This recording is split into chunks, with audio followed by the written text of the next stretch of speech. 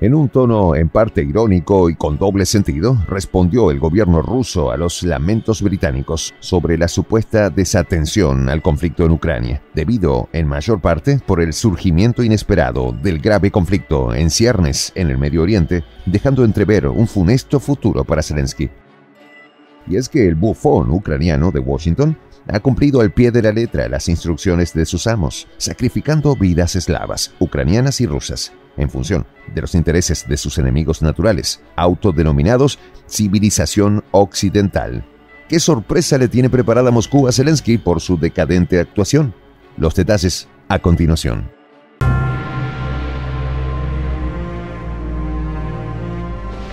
Voz de la Patria Grande. El pasado 18 de octubre, el secretario de Defensa del Reino Unido, Grant Shapps, efectuó una visita de trabajo a Washington en la cual se mostró particularmente preocupado por la situación de Kiev, luego del inesperado calentamiento de la geoestratégica región del Medio Oriente.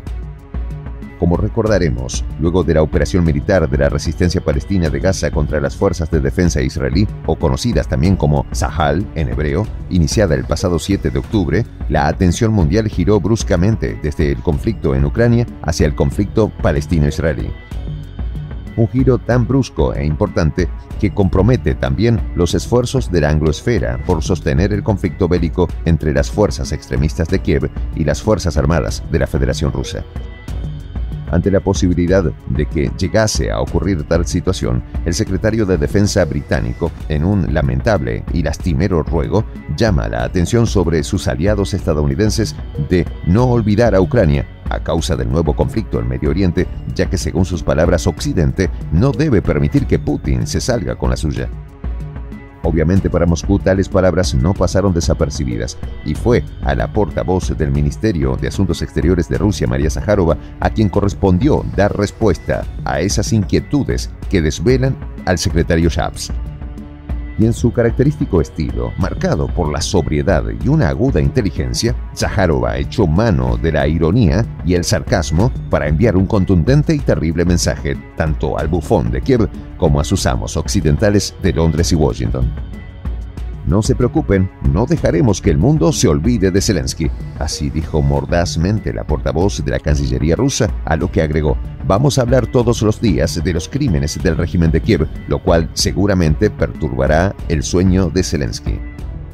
Y no sería para menos, ya que en términos geopolíticos el conflicto ucraniano es solo una guerra de desgaste, donde Ucrania y su pueblo son carne de cañón de los intereses occidentales, totalmente dispensables, mientras que el Medio Oriente representa una zona vital para el sostenimiento del poder occidental. Evidentemente, el bufón debe tener problemas para dormir por lo que la preocupación del secretario de Defensa británico no, es en balde, ya que sabe que lógicamente Washington privilegiará a Israel en materia de esfuerzos económicos y militares por sobre Ucrania de agravarse la situación militar en el Medio Oriente y se produzca una escalada. Y aunque la secretaria del Tesoro estadounidense, Janet Yellen, haya asegurado que su país está en capacidad de apoyar financiera y militarmente tanto a Ucrania como a Israel, ya muchos especialistas han expresado sus preocupaciones por las consecuencias desfavorables que ha provocado el conflicto ucraniano en la economía y en la capacidad militar estadounidense. Por supuesto, el bufón de Kiev sabe a la perfección cuál es la situación, así como su total dependencia del apoyo occidental para mantener el conflicto, el cual de desaparecer, conduciría a sus fuerzas a una total catástrofe al no poder reponer el armamento que hoy recibe de Occidente. Solo pocos días después del operativo militar de la resistencia palestina en Gaza, las fuerzas rusas lanzaron la mayor ofensiva militar de este año, logrando avances importantes en la muy fortificada ciudad de Adivka, la cual está siendo encerrada en un caldero, lo cual constituye una derrota importante para los extremistas de Kiev siendo la posición táctica en el terreno muy complicada para Ucrania, luego del definitivo fracaso de su contraofensiva de primavera que se convirtió en verano altamente publicitada como la gran contraofensiva que expulsará a los rusos no solo del Donbass, sino también de Crimea. La altísima pérdida de material bélico y tropas entrenadas en la línea de Zaporilla lugar donde se concentró más la fallida contraofensiva, y el envío de refuerzos hacia la ciudad de Adipka, donde seguramente se consumirá al igual que ocurrió en la ciudad de Bakhmut, pintan un panorama irreversible para Zelensky ya que de darse una escalada bélica en el Medio Oriente, el flujo de armamento occidental hacia Ucrania cesará por completo para destinarlo hacia Israel, que como dijimos resulta indispensable y vital para el sostenimiento del poder occidental en el mundo y no teniendo Ucrania más lugar en donde obtener armas y municiones para reponer sus enormes pérdidas, resulta claro que paulatina y fatalmente sus fuerzas serán degradadas y llevadas a su mínima expresión, no quedando más alternativa que la inmolación o la rendición. Y por más que Zelensky hoy se muestre muy bravucón y decidido, es evidente que al quedarse sin el patrocinio occidental, su representación actoral no seguirá teniendo sentido, por lo que no sería nada extraño que en el futuro cambie sustancialmente su discurso. Sin embargo, también hay que tomar en cuenta que el extremismo ucraniano posee un poder dentro de las estructuras militares y políticas del país, los cuales, gracias a su ideología violenta, se convierten en sí mismos una trampa para el mismo gobierno de Zelensky. En Moscú nadie olvidará el servicio prestado por Zelensky a los planes macabros de Occidente para fragmentar al mundo eslavo y balcanizar a Rusia en múltiples mini-estados para poder de esta forma adueñarse de los enormes recursos naturales y tecnológicos del país más extenso del planeta.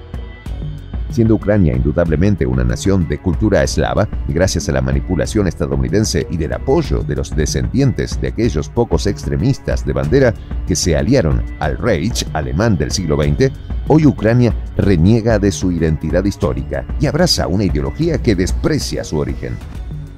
Endofobia cultural inoculada es lo que hoy existe en Ucrania y lo que el bufón de Kiev, Volodymyr Zelensky, representa para los pueblos eslavos, apoyando desde su posición la destrucción de la cultura y el idioma, no solo ruso, sino también ucraniano, como hemos visto en sus ataques a la Iglesia Ortodoxa y al llevar adelante iniciativas para instaurar el idioma inglés como lengua regular a lo que se suman incontables e innumerables delitos de lesa humanidad y violatorias del derecho internacional cometidos por su ejército de extremistas de derecha, donde destaca el bombardeo deliberado a zonas residenciales civiles en el Donbass y el trato inhumano a los prisioneros de guerra rusos. Todo un larguísimo expediente de delitos, ofensas y faltas del cual Moscú lleva buena cuenta y que, a decir de María Zaharova, no olvidarán colocando a Zelensky entre la espada rusa y la pared del extremismo banderista ucraniano. En definitiva, a Volodymyr Zelensky conciliar el sueño debe ser una tarea agotadora, ya que sabe perfectamente que la Gran Rusia no perdonará sus ofensas por más que alegue que solo estaba ejerciendo el papel del bufón de Occidente, y tampoco el extremismo ucraniano le permitirá huir por su vida. Triste destino el que espera a los traidores a su pueblo.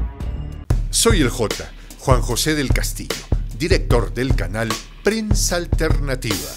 Si quieres ser parte de la comunidad de la Patria Grande, suscríbete a nuestro canal. Si es que quieres que te lleguen las notificaciones cada vez que subimos un video, activa la campanita. Si quieres apoyar a nuestro canal económicamente, puedes hacerlo a través de PayPal. El enlace está en la descripción del video. Nombre del equipo de prensa alternativa, me despido con esta expresión en el quechua milenario, Tupananchis Kama, cuya traducción es hasta volvernos a encontrar.